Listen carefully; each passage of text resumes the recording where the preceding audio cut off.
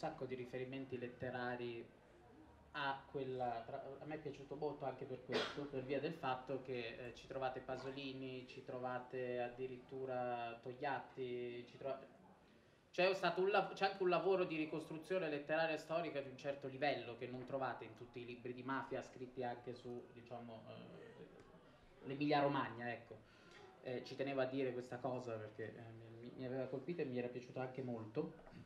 E, ehm, tra le cose che eh, vengono dette, oltre a quella della civilizzazione, professore, ritorno da lei, lei definisce l'andrangheta un movimento sociale di conquista e in riferimento al, eh, al successo che ha avuto a Reggio Emilia parla di spirito di Monaco Ora, eh, ci vuole spiegare eh, perché è arrivato a definire movimento, secondo lei l'andrangheta è addirittura un movimento sociale di conquista e che cosa intende per spirito di monaco quando parla dell'avanzata dell'andrangheta a Reggio Emilia?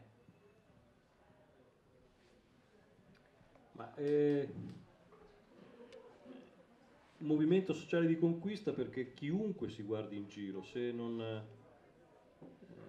se non eh, socchiude gli occhi, se, non, se li fodera, come si usa dire, si rende conto che ci troviamo davanti non, e questo sarebbe, è un limite continuare a considerare soltanto un'organizzazione criminale.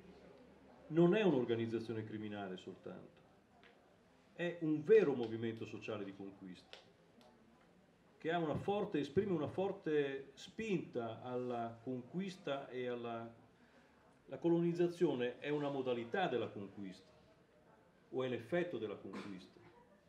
Ma l'idea è che eh, è la famosa frase che, che, da dieci anni continuiamo a tirar fuori, che venne intercettata durante l'operazione Crimine Infinito, eh, del boss più anziano che dice al boss più giovane, tu ricordati una cosa, il mondo si divide in due, ciò che è Calabria e ciò che lo diventerà. Ma lì c'è un'antropologia profondissima, pensiamo che le cose si dicano così, che sia una battuta da bar. Egli sta dicendo noi chi siamo? Noi siamo quelli che conquisteranno il mondo. E per certi aspetti stanno avendo ragione. Perché? Perché la Germania non si oppone, perché quello che sta, si sta vedendo adesso in Olanda parla per tutti, chi se l'aspettava, pochi se l'aspettavano. Bisognava sapere che il tale boss internazionale aveva come suo avvocato l'avvocato della regina. Cioè, bisogna sapere alcuni dettagli che ti mettono in condizione di capire che eh, qui c'è qualche cosa che ha la forza della conquista ed è una... Eh, si va in tutta Europa, va, eh, riescono a trovare spazio perfino tra i narcos messicani, nella, nell'America Latina. Eh, questa capacità di salire da Reggio verso Mantova, verso Cremona, verso il Veneto, eh, è un movimento di conquista. Un'organizzazione criminale non fa queste cose è una tendenza a espandersi progressivamente, paese dopo paese, perché inizialmente si può immaginare una, uh, una organizzazione che va a rimorchio dei movimenti migratori in modo parassitario, si piazza di dietro, incomincia appunto a eh, est compiere estorsioni nei confronti dei negozianti con paesani e poi, ma ormai c'è una logica di espansione sistematica, sistematica. Questa non è un'organizzazione criminale. Questo è un movimento sociale di conquista che usa il crimine come strumento di conquista, che usa la violenza per eh, realizzare i suoi obiettivi espansivi. Ed è un, un fenomeno eh, che eh, fa pensare, perché la colonizzazione non è soltanto di costumi, che è già molto importante, ma noi abbiamo ormai in tutto il mondo ci sono delle comunità che vengono formate da persone che vengono da paesini ad alta intensità mafiosa in altri continenti in cui la popolazione che viene da quei paesi è il doppio di quella del paese originario. Recentemente, nel eh, mio viaggio a Europol, all'AIA, eh, un elemento di discussione la sera era tra eh, ehm, investigatori di diversi paesi sul fatto che si è scoperto che in Svizzera ci sono, improvviso l'hanno scoperto, eh, ci sono eh, due villaggi che sono cresciuti a 7-8 mila abitanti soltanto con persone che vengono da un paese della Calabria che ha la metà degli abitanti. E sono lì ad arrovellarsi, ma come mai è possibile? È possibile, se l'aveste studiata prima, l'avreste capito che è così che funziona. Perché Griffith in Australia, paese dell'Australia che è stato l'epicentro della forza dell'andrangheta in Australia, e che è stato innervato uh, prevalentemente da gente eh, di Platì, ha il doppio degli abitanti di Platì. Suoi, di platioti che stanno a Griffith, il doppio, non il doppio degli abitanti di Griffith. Il doppio di, dei platioti, dei, degli abitanti, degli platioti che stanno a Griffith sono il doppio dei platioti che stanno a Platì. Ed è così in tutto il mondo. E cosa la chiamiamo? Organizzazione criminale questa? E se ce ne rendiamo conto, incominciamo anche ad attrezzare, ad arginare, a capire come possono essere contrastati, perché non sono invincibili. Il fatto è che vanno contrastati.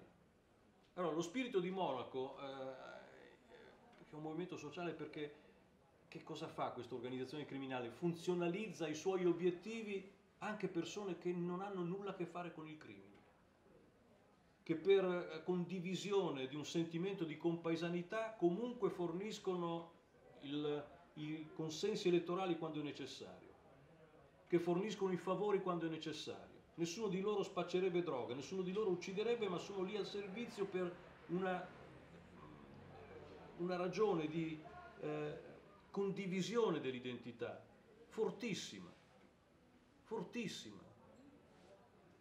È un fiume, è un fiume che si muove per il mondo, che non si sta fermando.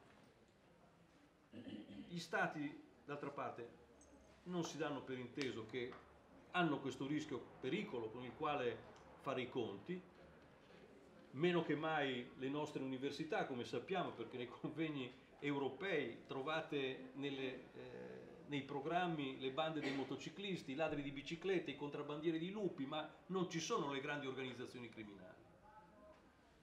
Non fanno parte della discussione scientifica, quindi beneficiano di questa rimozione collettiva che ha qualcosa a che fare con lo spirito di Monaco. Lo spirito di Monaco è quello dell'Inghilterra e della Francia che eh, di fronte alle grandi democrazie europee, che di fronte alla minaccia tedesca nei confronti della Polonia, invece di intervenire, preferiscono non creare un livello di conflittualità troppo alto.